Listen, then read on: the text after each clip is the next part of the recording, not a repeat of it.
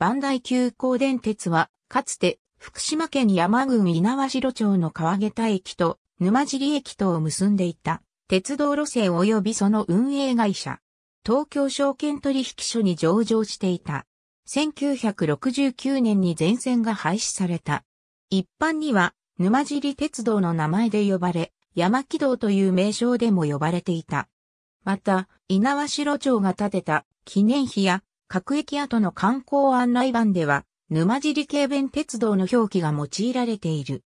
本鉄道は、硫黄鉱山から採掘した硫黄鉱石を日本国有鉄道磐越西線まで輸送するために、敷設された貨物輸送主体の鉄道で、旅客輸送は片手間に行われていた。硫黄鉱山の閉山後は、観光鉄道として脱皮を図り、旅客輸送で経営を維持しようとするが休止となり、その後廃線になった。旅客輸送では、磐梯山やスキー場へ行く観光客に利用されることもあり、観光シーズンの夏は学生の旅行者が多く、冬はスキー客とその荷物で車内は混雑した。また、岡本厚夫が歌う高原列車は行くの舞台になった。元来は沼尻鉱山で取れる硫黄鉱石の輸送を目的として日本硫黄によって付設された鉱山軌道である。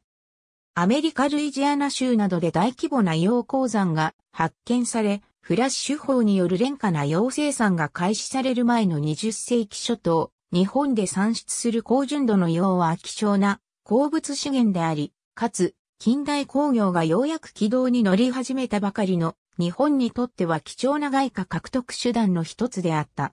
ところが、沼尻鉱山からの硫黄輸送においては、悪路を入馬車によって搬送していたため途中での荷痛みによる損失が著しく大きく、その改善が強く求められる状況にあった。そのため、鉄道を建設しこれによって鉱石輸送を実施することが計画され、1908年に日本洋関係者及び地元有力者の手によって川桁大原間で山軌道として 609mm 機関、人力動力での軌道建設特許が出願された。しかし、この計画は資金難から一旦挫折した。このため、事態を重く見た日本用本社が問題の解決に乗り出し、特許を出願者から譲り受けした上で社内に山軌道部を設置、自社直轄事業として軌道建設を実施することを決断した。こうして旺盛な洋輸送需要に対応すべく 762mm 機関馬力動力に変更した上で建設工事を進め、1913年5月11日に日本洋山軌道部として路線の営業を開業した。その路線は大原から順に近傍の集落を通過して最寄りの国有鉄道磐越西線川桁駅に至るもので途中福島と稲葉城町を結ぶ国道115号と並走する区間もあるが、この地域では最大の都有である稲葉城町を避けて川桁と接続している。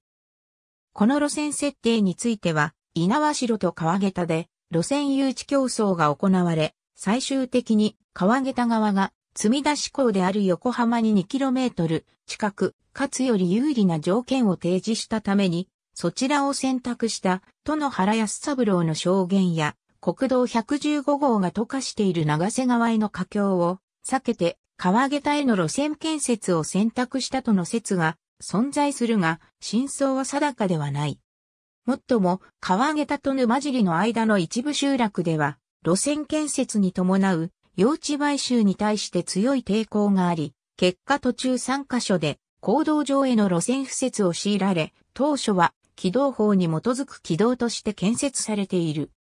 路線は沼尻と川桁の高低差が174.52メートルで、沼尻からほぼ連続的な下り勾配で川桁に至るが、その勾配は、木地後や沼尻間に30の40パーミル台の急勾配が連続するという非常に厳しいものであった。なお、沼尻鉱山は終点沼尻からさらに奥地に存在し、製品、資材輸送のための策動が沼尻駅と精錬所、最高所の間に仮設されていた。開業後は、1914年1月9日認可で蒸気機関車を導入して輸送力を飛躍的に強化。さらに1929年には観光客誘致を目論んで機動車を導入。一時は会津日の口より分岐し、長瀬川に沿って秋元湖へ至る裏磐梯観光開発に主眼を置いた路線の建設も計画、特許が取得されたがこちらは未成に終わっている。また、1940年の日本初送電による秋元発電所の建設にあたっては、メーカーより分岐する資材搬入用側線を建設、本軌道を用いた資材輸送が実施されている。最盛期は昭和初期から太平洋戦争中にかけての期間で、この時期は沼尻鉱山だけでも約1200人の人々が働いていた。1945年1月1日に運輸省及び内務省からの行政指導に従い、地方鉄道に変更、日本異様沼尻鉄道部と解消した。戦後はディーゼル機関車の導入をいち早く進めている。1950年代前半になると日照丸がアラビアから原油輸送を始め、四日市で原油の生成が始まり、硫黄も生産されるようになった。硫黄生産コストは、四日市では、硫黄1トンあたり1万7千円だが沼尻では4万円もかかり、沼尻の硫黄は価格で勝負にならなくなった。1950年代後半以降、大規模かつ低コストな硫黄採掘技術の開発により、海外での溶鉱山の開発が進み、沼尻産硫黄の国際競争力が相対的に大きく低下した。さらに、硫黄の日本国内での大口消費者であった繊維業界の鍋底不況に伴う需要減少や1960年代以降市場に出回るようになった廉価な回収用の普及といった事情も手伝って1960年代中盤以降日本国内における天然用の採掘は次第に採算が取れなくなっていった。この結果、1968年に沼尻鉱山は閉山となり、鉱山の主要施設は撤去あるいは焼き払われた。そのため、洋貨物輸送にその収入の多くを依存していた本鉄道の経営状況は急速に悪化。1957年には無敗に転落し、経営改善のために旅客輸送需要の拡大を図る必要に迫られるようになった。かくして本鉄道を裏磐梯への観光鉄道へ転換、スキー場や温泉などの開発とセットで存続を図るべく、日本医療が子会社である沼尻観光を1964年6月1日に九州合併、日本医療観光へ称号を変更し、さらに1967年8月1日に、磐梯急行電鉄へと改称した。また、これに合わせて1968年には廃線になった宮城バス、仙北鉄道線から中古車両を導入して、旅客輸送力の増強が実施されるなど、観光鉄道化による存続を模索して様々な努力が行われた。しかし、同年7月に、磐梯急行電鉄は突如会社構成法の適用申請、同年10月14日には、会社の倒産に伴い全線が休止、さらには1969年3月27日に正式廃止された。本鉄道は末期には電鉄と名乗っていたものの電化はされず、最後まで非電化軽便鉄道規格のままであった。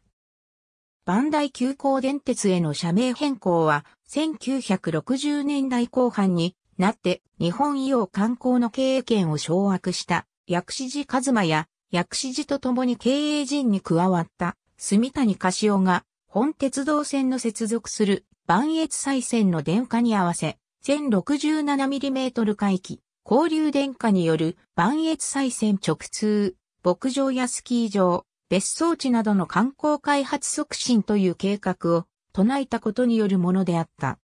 もっとも一連の事業計画は必要な資金を福島県や農林中央金庫からの融資で賄うというものなど、同社の苦しい実情から鑑みればあまりにも現実離れしており、実現の見込みは皆無であった。このため日本医療時代から保有していた山林の含み益や場合によっては転売するなどして、なんとか資金捻出を図った。だが、それらも実際には金融機関が担保としていたり、そもそも移転登記すら行われていないものだったりして、場合によってはトラブルにまで発展した。加えて、経営実態に見合わない過大な利益計上や8分あるいは1割といった効率の配当実施など、健全な企業経営の原則から大きく逸脱した不自然な経営が常態化。倒産直前の1968年には、バンダイ急行電鉄株が、指定筋の介入によるとみられる異常な値動きを示し、投機筋によるマネーゲームに翻弄されるがままに陥った。結局のところ一連の倒産直前の経営は、投機筋や出自の怪しい不動産業者が、倒産間際ではあるもののそれなりに、社会的信用があった会社を隠れ蓑として、投資家から資金を集めながら、企業の資産を食いつぶしたと見ても差し支えない。しかも唐突な会社構成方針制でさえ、計画倒産に類するものであったと言われ、鉄道事業そのものの経営状況とは無関係に、経営的に不明朗な経緯で敗戦に追い込まれたものであった。倒産当時はスキャンダルにもなったようで、新聞や雑誌に数々取り上げられたという。この休止配線は、鉄道運行に当たっていた職員にとっても、沿線住民にとっても、晴天の霹靂と言うべき事態であったらしく、労働組合による抗議、鉄道存続に向けた活動なども行われたとされる。だが、介入前の段階で、すでに鉄道部門は赤字経営となっており、さらに施設が総額20億円に上る負債支払いのため差し押さえ、対象となったこともあり、そのまま路線廃止が実施されている。バンダイ急行電鉄の倒産後、薬師寺は新たに、バンダイ電鉄不動産という不動産会社を設立して、1972年に和歌山県の五坊林港鉄道を買収し、紀州鉄道に改称して、自らはその不動産部門となっている。その紀州鉄道も1979年にリゾートホテル等を展開する鶴屋グループと経営陣が交代しており、その後の薬師寺の消息は定かではない。会社倒産後の鉄道の線路や敷地などの土地は、労働組合の管理下に置かれ、従業員の退職金はこれらの土地を、稲葉城町や福島県に売却して得た金で支払われた。元従業員の話によると、その退職金は、スズメの涙ほどの金額であったという。